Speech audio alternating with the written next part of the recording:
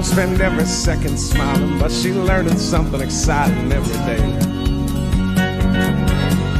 She'd rather be 75 and sunny, 29 with a chance of showers all the time.